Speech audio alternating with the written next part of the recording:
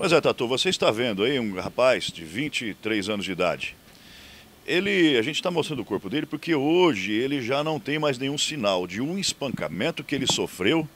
É, tem um sinal aqui, né? A gente vai mostrar então, mas é na frente, aqui próximo à garganta. Mas é um espancamento que ele sofreu no ano passado, em dia 16 de dezembro do ano passado, exatamente. Ele foi espancado por uma ou mais pessoas, ele não tem certeza, mas uma pessoa foi presa, isso é certeza.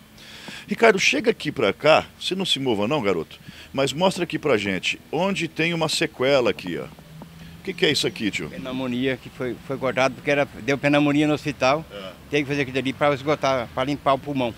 Esse que você ouviu aí foi o pai do garoto. Agora a gente vai conversar com ele, vamos lá. Como é que foi? Por que que isso tudo aconteceu? Conta pra gente. Ó, é como, é como que eu não tenho maldade com ninguém, eu não, não consigo ganhar maldade dentro do olhar. Daí o meu amigo, meu amigo pediu minha corrente emprestada, eu emprestei Uma corrente de pescoço. É ouro? O que, que é? uma prata. Uma Prata. Daí eu ganhei de um, de um amigo meu lá de São Paulo. Daí pra não deixar coisa ganhada é ruim dar pros outros. Daí falei, não, eu quero minha corrente que eu ganhei. Daí falou assim, não, não, eu não vou te dar nada não. Daí comecei, ele tava alcoolizado, tava bêbado, drogado, começou a quebrar a garrafa no meu pé. Daí eu saí de perto dele.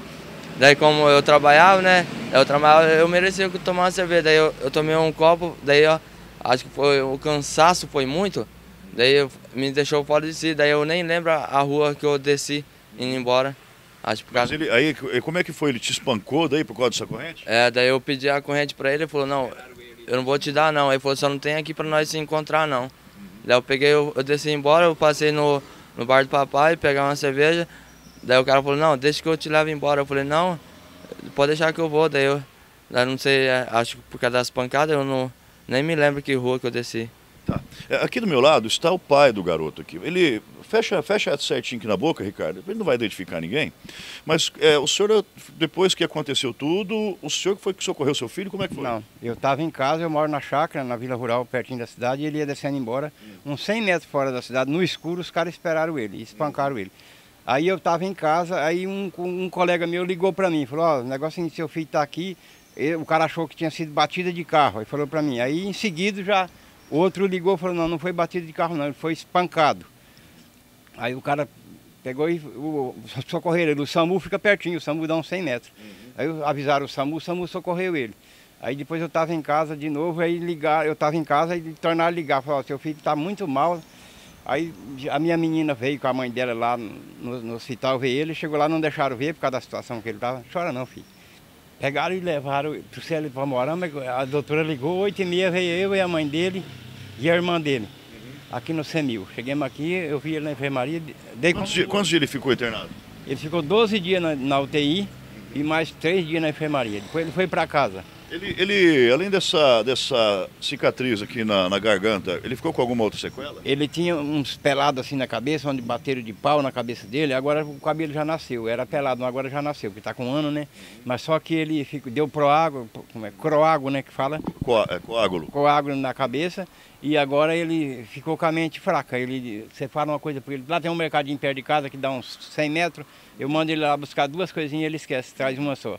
Outra hora ele volta do caminho e fala, pai, o que, que o senhor me encomendou que eu esqueci? Então ele ficou com a... E é um moleque novo, você vê.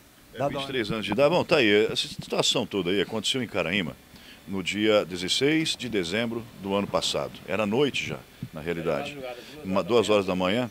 O autor desse crime foi preso. Está preso ainda, né? Tá em Cruzeiro do Oeste. Está preso até hoje na penitenciária estadual de Cruzeiro do Oeste, como disse aqui o pai do garoto, e também o garoto que está aqui fazendo os exames complementares de lesões corporais no Instituto Médico Legal em Umorama, é, a pedido inclusive do advogado, para que ele possa vir a receber é, os- os- esse período só que ele ficou parado, então é em virtude de uma indenização por conta deste período em que ele ficou internado e que passou por todos esses problemas e era um rapaz trabalhador, é, agora infelizmente está impossibilitado de exercer as suas funções como profissional.